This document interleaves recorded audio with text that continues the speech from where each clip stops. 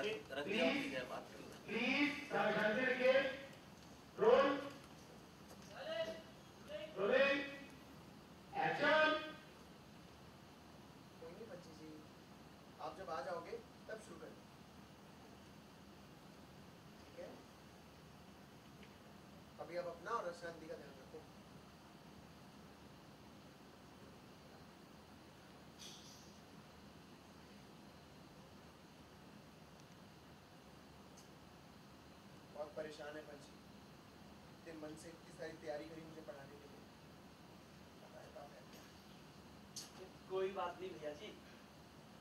आज नहीं तो कल पढ़ा देंगे।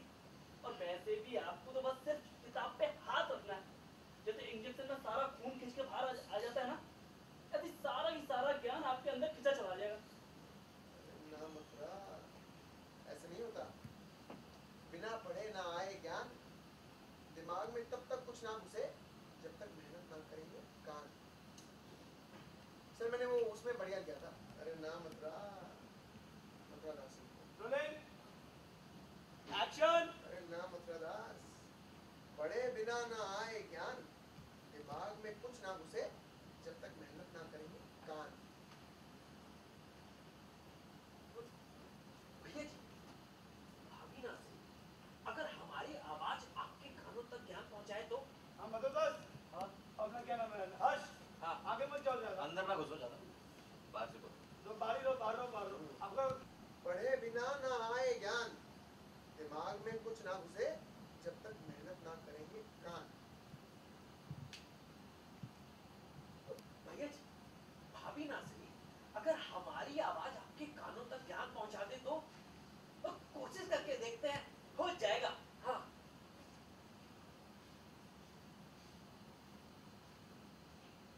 देखो अंग्रेज़ी में जो हमें आती है सुनाते हाँ ये ये लुक चीट करना थोड़ा सा ये वाला लुक चीट थोड़ा सा थोड़ा सा रोल रोलिंग हाँ ये ठीक है ये ठीक है रोलिंग एक्शन तो अंग्रेज़ी में है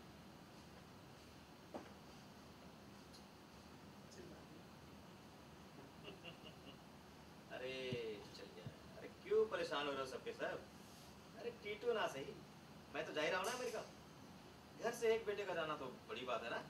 हम्म? और ये देखो। टिकट दिखाया। माँ जाने का टिकट है ये। और मैं तो कहता हूँ टीटू भाई ये किताबें भी हमें दे दो। तुम तो खुद पढ़ने से रहे भाई। जूम। आगे एक्शन पे जूम जाना भाई अब या तो पंछी जी रचना के घर से तुम्हें चिल्ला चिल्ला के पढ़ाएँ या तेरे सपने में आकर पूरी किताब रटवा दें तब जाकर बात बन सकती है। लॉक खोलना तब जाकर बात बन सकती है वरना ना। चांस ही नहीं है कोई। देख बे मद्रा दास मुकुंद अग्रवाल।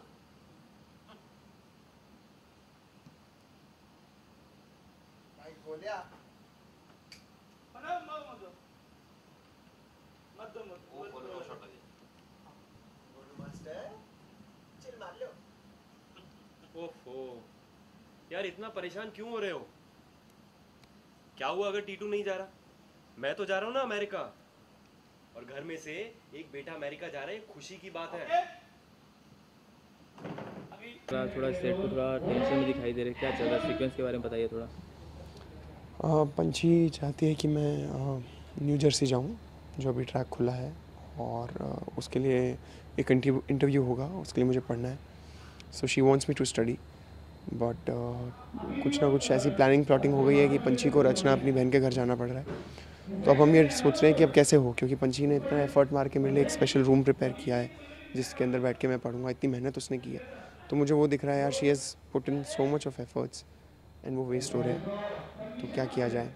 सो so, इसलिए अब यही डिसाइड कर रहे हैं कि ऐसा कुछ किया जाए जुगाड़ लगाएँ कि पंछी मुझे वहाँ बैठे हुए पढ़ाए। तो क्या आप जाना चा- जाना चाहते हैं न्यू जर्सी बिल्कुल बिल्कुल मैं जानना चाहता क्या हूँ जुगाड़ क्या लगाना है लगाना स्काइप पे हम बात करेंगे। वो उधर लैपटॉप होगा इधर मेरे पास लैपटॉप होगा और वीडियो कॉलिंग के थ्रू वो मुझे पढ़ाएगी। अच्छा इस किरदार को आप कितना एंजॉय कर रहे हैं? मैं बहुत इन्जॉय कर रहा हूँ। ये एक ऐसा कैरेक्टर है जो I think once in a lifetime मिलता है किसी को भी क्योंकि इसके अंदर बहुत सारे लेयर्स हैं। ये कैरेक्टर अपने आप में एक परफॉर्मर है। तो बीइंग एन एक्टर मुझे एक एक्ट ऐसा प्ले करने को मिल रहा है जिसके अंदर बहुत वेरिएशंस हैं, बहुत लेयर्स हैं, बहुत डेप्थ है। और टीटू ऐसा है जो नाचता है, गाता है, सबको एंटरटेन करता है अलग अलग एक्ट्स करता है गैग्स करता है गिग्स होती हैं उसकी।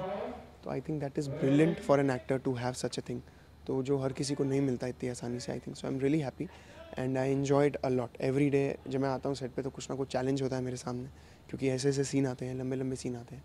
कभी मैं किसी बात पे बोल रहा हूँ कभी कुछ बोल रहा हूँ। So I really enjoy it a lot इस मुकाम तक पहुँचने के लिए आपको भी स्ट्रगल करना पड़ा जिस तरह से हर आर्टिस्ट कहते हैं कि मुंबई में उन्हें काफ़ी स्ट्रगल करने के बाद यहाँ तक पहुँचे। तो आपको भी इस तरह का कोई struggle- जी स्ट्रगल हर किसी की लाइफ में रहता है बिल्कुल। अ, मैं 2012 में मुंबई आया था अभी 2015 चल रहा है। तो तीन साल मुझे हो गए हैं यहाँ पे। और अ, मुकाम आगे अभी और भी हासिल करने हैं आगे और जाना है बहुत आगे बढ़ना है। और स्ट्रगल हर किसी की लाइफ में होता है ऐसा नहीं है कोई भी बंदा ऐसे नहीं बोलता है कभी भी। और कि और आई थिंक स्ट्रगल ये नहीं होता है कि आप कितने लोगों के साथ रहे कि आपको पास खाने के पैसे नहीं थे। That is not struggle struggle actually is कि आपको कितना कैसा कैसा काम आया और आपने कैसा कैसा काम किया अच्छे काम के लिए वेट किया और फिर अच्छा काम किया। इस शो में आगे क्या ट्विस्ट देखने मिलेगा दर्शकों को उसके बारे में ट्विस्ट एंड टर्न्स यार बुरा भरा हुआ है। Tu Mera Hero is a one show which is very different from all that we have in today's television बहुत एंटरटेनिंग है लाइट हार्टेड कॉमेडी है। उसके साथ साथ ऐसे ऐसे ड्रामाज आते हैं जो लंबे नहीं खिंचते। थोड़े थोड़े टाइम के सीक्वेंसेस होते हैं जो अगर कोई न्यू ऑडियंस जुड़ना भी चाहे तो बहुत इजीली वो जुड़ सकते हैं उससे। उनको ऐसा नहीं होगा, यार स्टोरी क्या है? बहुत स्पेसिफिक कैरेक्टर्स हैं। तो वो चीज़ ऑफकोर्स आगे आएगी। ऐसा बहुत ट्विस्ट एंड टर्न्स आते रहेंगे जो ऑडियंस को एंगेज रखेगा और एंटरटेन करेगा। अच्छा व्यूवर्स को क्या कहना चाहेंगे जो आपके शो को देखते हैं? उनके लिए क्या मैसेज देना चाहेंगे? जो शो को देखते हैं उनके लिए बहुत बहुत थैंक यू आप लोग पसंद कर रहे हैं तो मेरा हीरो को। आप ऐसा नहीं कह रहे हैं कि हाँ सिर्फ़ एक ही चीज़ अच्छी है। You are appreciating all the characters all the actors तो उस चीज़ की हमें बहुत खुशी है कि कंटेंट हमारा स्ट्रांग है आप लोग उसको पसंद कर रहे हैं समझ रहे हैं उससे खुश हैं सेटिस्फाइड हैं।